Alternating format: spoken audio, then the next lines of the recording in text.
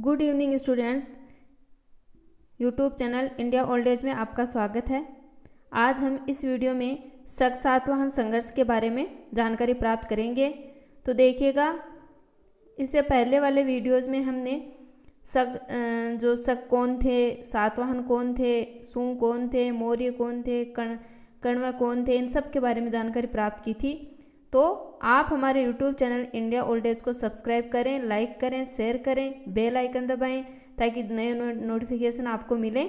और आप आप इतिहास विषय से संबंधित जो परीक्षा में महत्वपूर्ण जो क्वेश्चन आते हैं, उनको आसानी से समझ सकें और याद कर सकें, पढ़ सकें।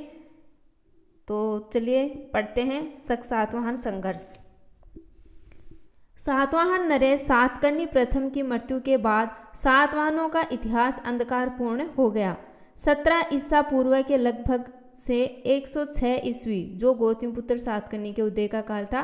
गौतमपुत्र सातकर्णी के बारे में हम पहले से पढ़ चुके हैं। तो 106 ईस्वी तक का काल सातवाहनों के पतन का काल है। सातवाहन साम्राज्य के पश्चिमी तथा उत्तरी प्रदेशों पर शकों का अधिकार हो गया। यहीं से सातवाहनों का संघर्ष प्रारंभ हो गया था। पश्चिमी भारत में शासन करने वाले प्रथम शक नरेश का नाम मेम्बरस था, जिसका उल्लेख पेरीपल्स में मिलता है। पेरीपल्स का लेखक के अनुसार मेम्बरस का राज्य कोठियावाड़, गुजरात तथा राजस्थान के कुछ भागों तक विस्तृत था। उसकी राजधानी मिन्न मिन्नगर थी, मिन्नगर थी। पेरीपल्स में इस नगर की स्थिति का जो विवरण दिया गया है, उससे ऐसा प्रतीत होता है कि यह नगर मंदसौर अर्थात दसपुर था। पेरीपल्स से पता चलता है कि इस समय सातवाहनों का बंदरगाह कल्याण, मेम्बरस के आक्रमणों के कारण असुरक्षित था। तथा यहाँ आने वाले यूनानी मालवाहक जहाज़ों को रक्षकों के साथ क्या संबंध था, क्या संबंध था, ये पता नहीं है। शक सातवाहन संघर्ष का वास्तविक इतिहास इसी समय से प्रारंभ होता है। छहरात वंश का प्रथम शासक भूमक था। उसके सीखे गुजरात, काठियावाड़ के तटीय प्रदेश, मालव तथा राजपूताना के अजमेर क्षेत्र से प्राप्त हुए हैं। सिक्कों की प्राप्ति स्थानों से इस बात का संकेत मिलता है कि उपयुक्त स्थान उसके राज्य में सम्मिलित थे।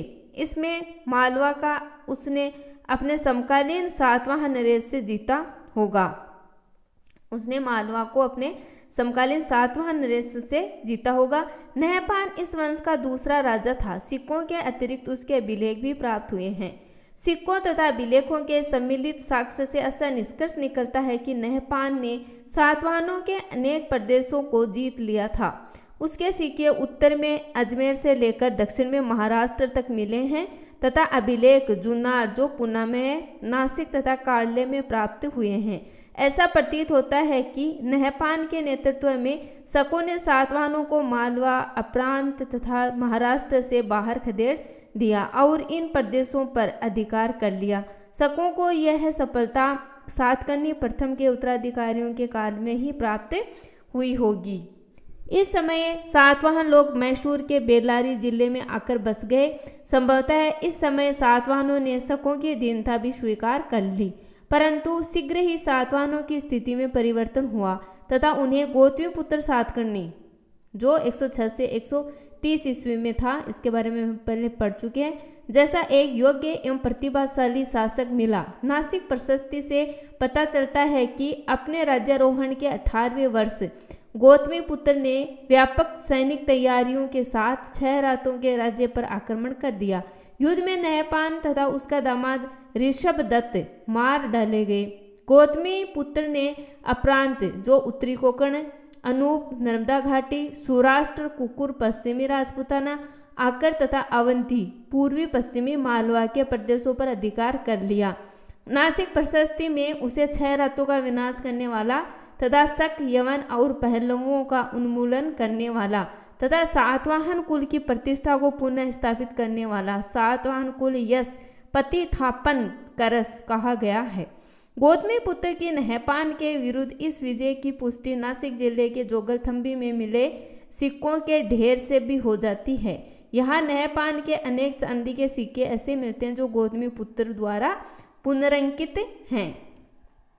ऐसा लगता है कि जोगलथम्बी में छहरात नरेश नहपान का राजकीय कोषागार था। गौतमी पुत्र ने उसे पराजित कर उसके कोषागार पर अधिकार कर लिया। यह शकों के विरुद्ध सातवाहनों की प्रथम महत्वपूर्ण सफलता थी।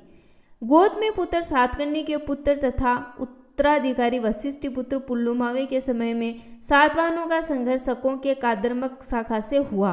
कादर्मक शाखा का संस्थापक यश मोतिक का पुत्र चस्टन था। टोलमी के विवरण से ज्ञात होता है कि उसकी राजधानी उज्जैनी, जो उज्जैन में थी। इससे स्पष्ट होता है कि चस्टन ने सातवाहनों से उज्जैनी, पश्चिमी मालवा को जीत लिया था, क्योंकि गौतमी पुत्र सातकर्णी के समय में यह सातवाहन राज साम्राज्य में था। चस्टन के कुछ सिक्कों पर चत्य का चिन्ह उत्कीर्ण मिलता है। चत्य सातवाहनों के सिक्कों का एक प्रमुख चिन्ह था। इस आधार पर कुछ विद्वानों ने ऐसा निष्कर्ष निकाला है कि चस्टन ने सातवाहनों के उत्तरी प्रदेशों को, जहाँ चत्ते प्रकार के सिक्के प्रचलित थे, जीत लिया था। सातवाहनों के विरुद्ध कादरमक शकों को सर्वाधिक महत्वपूर्ण सफलता चस्टन के पुत्र रुद्रदामन, जो 130 से 150 ईस्वी के समय में मिली है।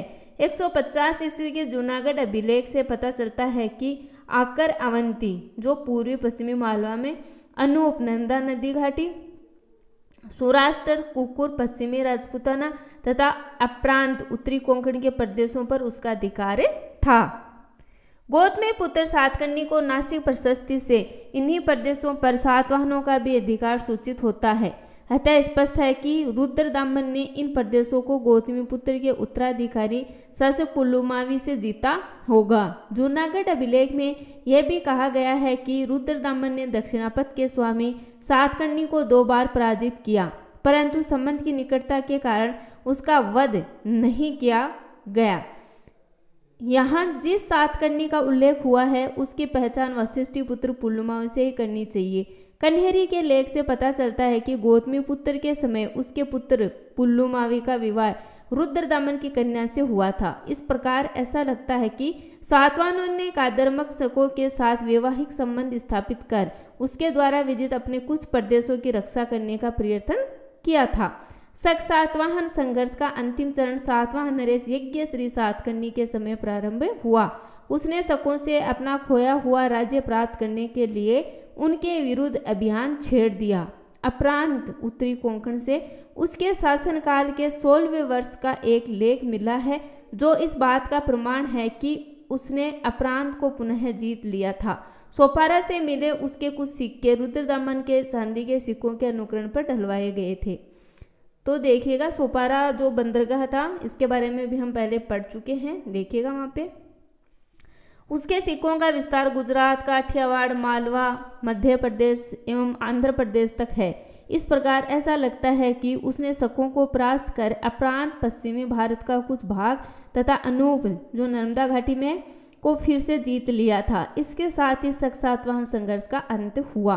ऐसा प्रतीत होता है कि इसके बाद शक तथा सातवाहन दोनों ही वंश अपनी अपनी आंतरिक समस्याओं में बुरी तरह व्यस्त हो गए, जिसके फलस्वरूप उनकी पारस्परिक शत्रुता का स्वाभाविक रूप से अंत हुआ। लगभग एक शताब्दी के आपसी संघर्ष में दोनों ही राजवंशों की शक्ति समाप्त हो चुकी थी।